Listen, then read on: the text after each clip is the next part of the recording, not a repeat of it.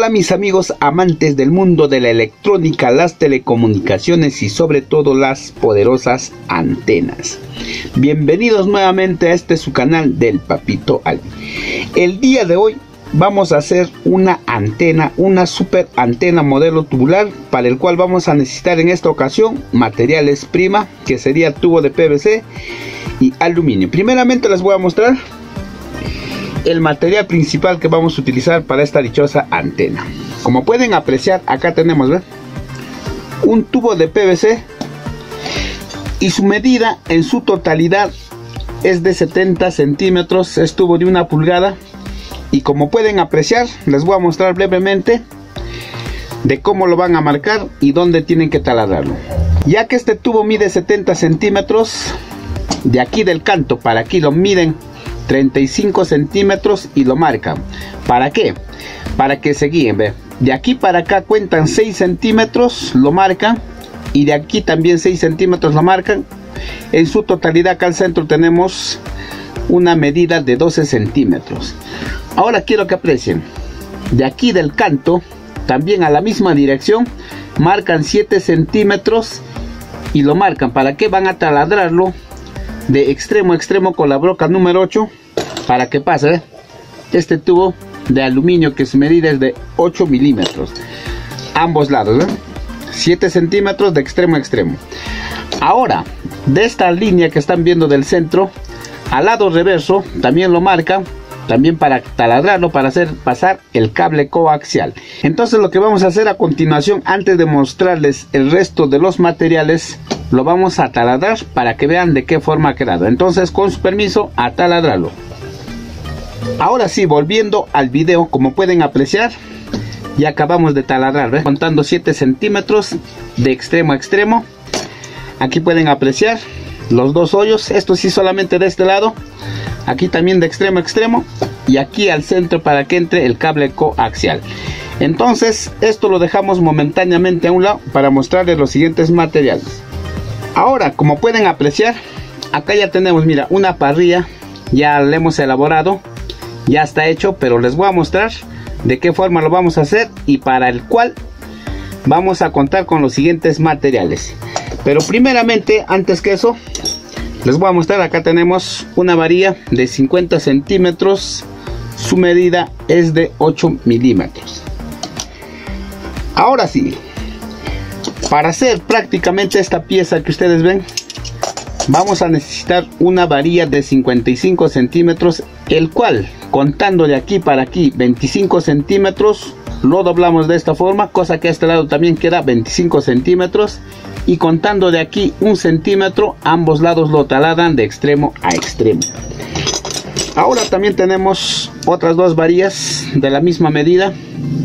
Este mide 25 centímetros, el cual lo tienen que taladrar aquí como pueden apreciar aquí al canto de extremo a extremo.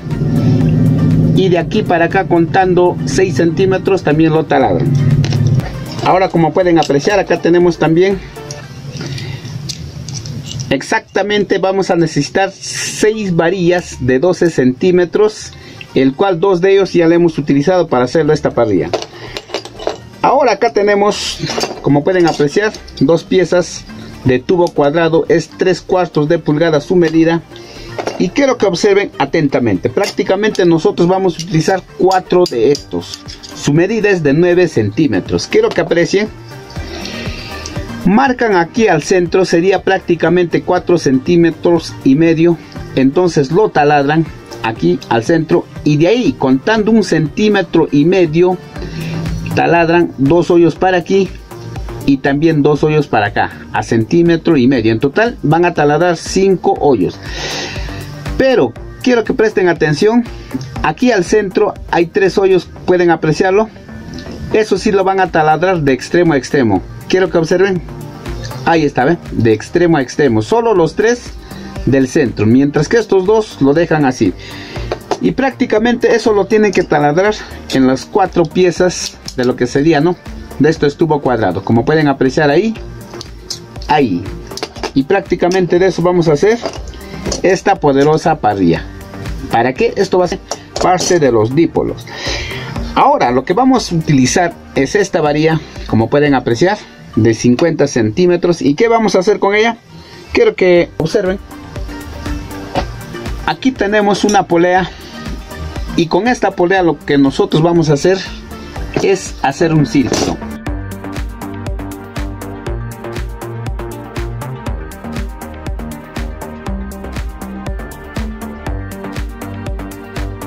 Ahora sí. Como pueden apreciar, nosotros acabamos de hacer un círculo. ¿Para qué? Esto va a ser prácticamente el reflector. Entonces guardamos la polea. Entonces esto también lo dejamos momentáneamente a este lado. Ahora lo que vamos a hacer es armar esta pieza, ¿no? Que sería parte de los dípolos. ¿Y de qué forma? Ahora si quiero que aprecien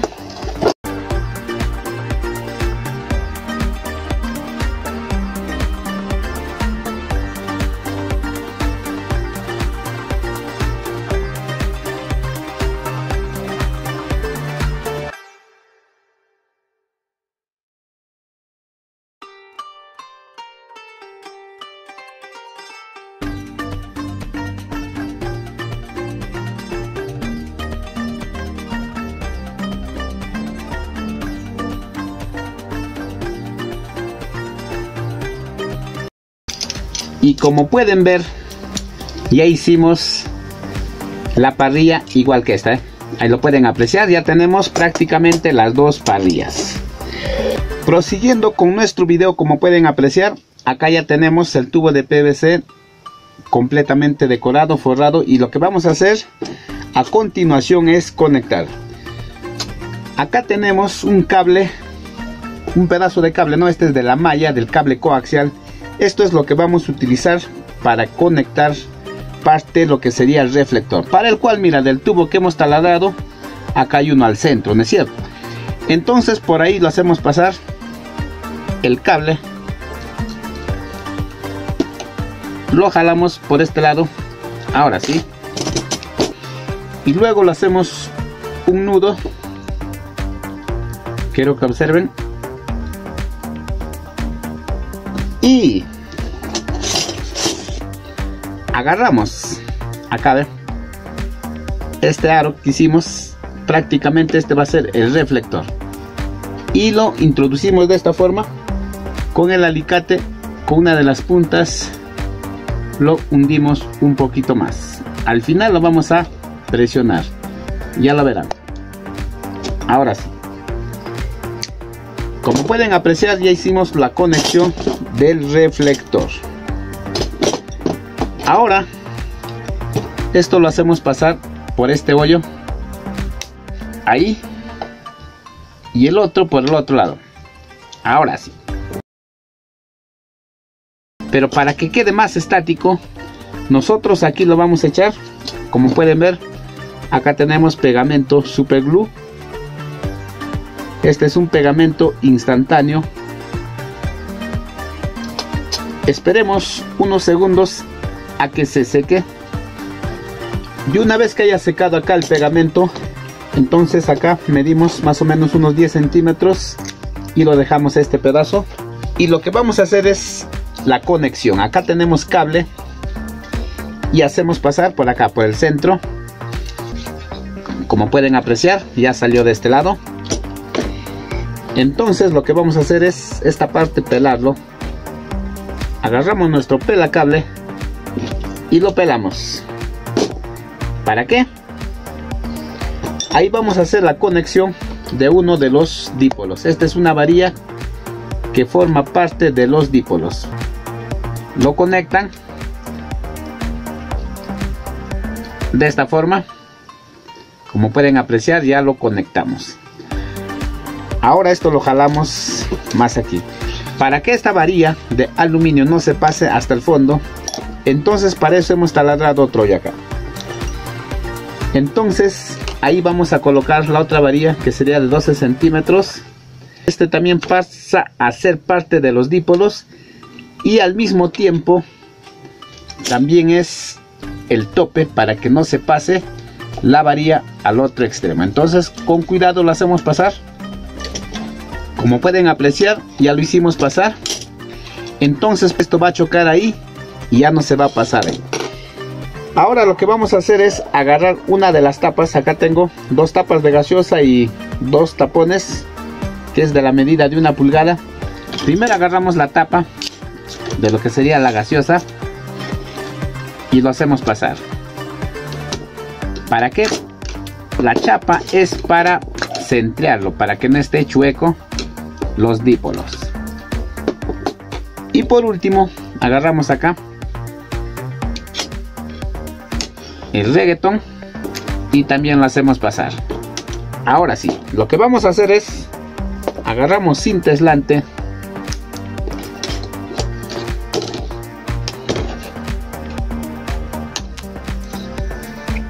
y lo envolvemos como pueden apreciar una vuelta más. Ahí. Queda. Pero este cable hay que cortarlo para que no nos incomode sobrando más o menos unos 8 centímetros. Ahí está y para seguir con la decoración entonces agarramos otro cinteslante de color azul ya que la antena le hemos decorado le hemos forrado de color azul. Entonces ahí.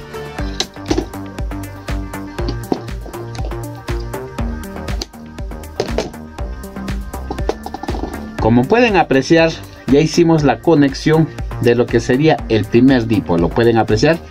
Y gracias a este tope, esta varilla de aluminio ya no se va a pasar al fondo, esto ya va a quedar ahí. Y por lo tanto no va a haber choque entre polo negativo y el polo positivo. Entonces lo que vamos a hacer a continuación es repetir la misma secuencia.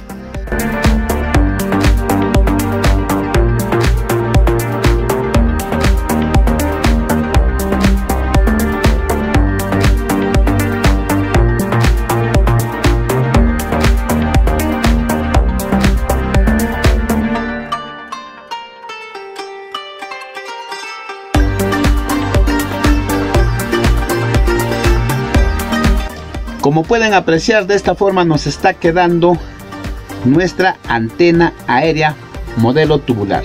Y por último lo que vamos a hacer es conectar en esta parte acá las parrillas para darle su toque final o su forma final. Entonces, ¿y de qué forma? Lo hacemos pasar por los hoyos que están al centro. Ahí Ahí está. Para el cual ustedes también tienen que taladrarlo aquí. Un hoyo. Y también un hoyo contando los 6 centímetros. Y ahí lo ponemos un tornillo.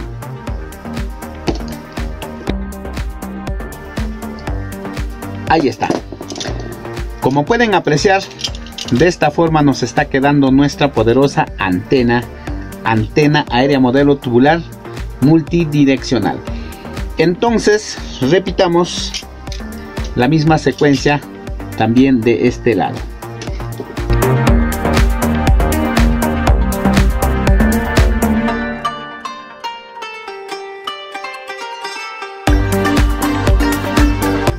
Ahí está. Como pueden apreciar, ya nuestra antena está en un 95%. Pueden apreciarlo. Ahora como pueden ver, acá tenemos dos cables que vienen aquí de ambos dípolos y acá tenemos un tercer cable que viene de aquí del reflector. Como esta es una antena que siempre lo elaboro, y hoy lo vamos a armar para ponerlo en su venta. Acá ya tenemos, mira, cable coaxial, la RG6 de 10 metros, y les voy a mostrar de qué forma se hace una conexión directa primeramente acá pelamos el cable. Ahí. Ya de una vez que le hayamos pelado el cable lo que vamos a hacer es primero conectar el polo positivo. Entonces lo que vamos a hacer es esta vez lo envolvemos ahí en el núcleo del cable coaxial. Es el polo positivo. Ahora lo presionamos Ahí está. Entonces lo que acabamos de hacer en estos momentos es la conexión del polo positivo. Entonces agarramos el cinteslante y lo aislamos para que no haya cruce de polos.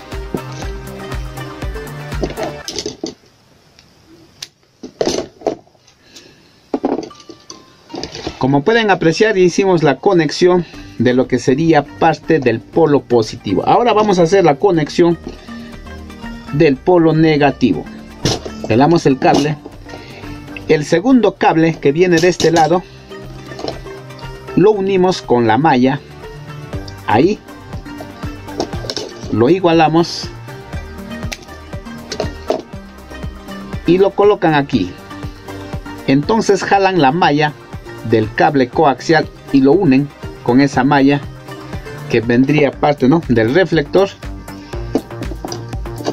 y lo unen de esta forma y una vez que le hayamos empalmado entonces también lo embalajeamos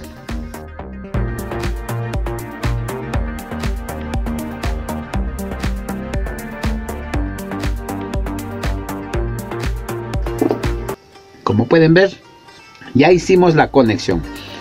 Ahora lo único que tenemos que hacer es agarrar este cable introducirlo acá adentro. Quiero que vean. Todo con calma. Todo con paciencia. Quiero que observen lentamente. Ahí está. Como pueden ver el cable ya está introducido. Para que no se salga agarramos el pegamento del super glue y lo vamos a pegar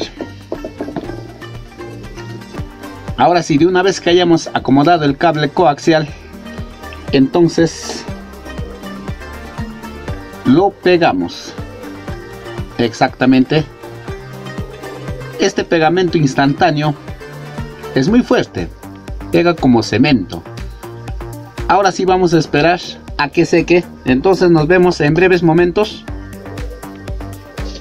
Como pueden apreciar ya llegamos a la parte final del video ahí pueden ver ya la antena está concluida esta es la antena modelo tubular multidireccional pueden apreciarlo. Prosiguiendo con nuestro video, como pueden apreciar, ahí tenemos la antena ya conectada al televisor. Entonces lo que vamos a hacer ahorita, vamos a ver cuántos canales ha logrado sintonizar. Entonces cambiemos. Ahí como pueden apreciar, está saliendo ya los canales en Full HD. Entonces cambiemos otro canal. Ahí como pueden ver está Panamericana está dando una película para hacer hoy domingo. Y cambiemos otro canal. Ahí está, cadena HD. Como pueden apreciar, estos son canales locales de aquí de la provincia de Huancayo. Cambiemos otro canal. Ahí pueden apreciar, tenemos otro canal, ¿eh? Full HD. Ahí pueden apreciar, está saliendo otro canal. Star TV, también canal local.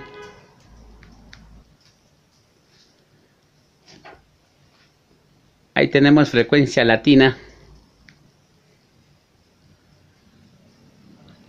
Ahí tenemos TV Perú, canal del estado. Ahí tenemos otro canal. uno más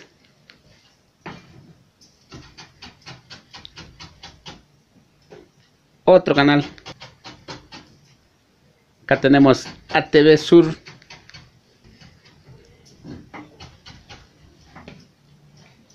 otro canal otro más como pudieron apreciar estos son todos los canales que están logrando sintonizar esta antena modelo tubular multidireccional. Como pueden ver acá tenemos las dos antenas. Ustedes vieron que ya lo probamos y están viendo la calidad y efectividad. Y para las personas que radican acá en mi país, Perú, el envío es a nivel nacional. Entonces eso sería todo por el día de hoy. Espero que les haya gustado este video y si es así no olviden suscribirse a este canal y también seguirme en el Facebook que también estoy con el mismo nombre del Papito Albi.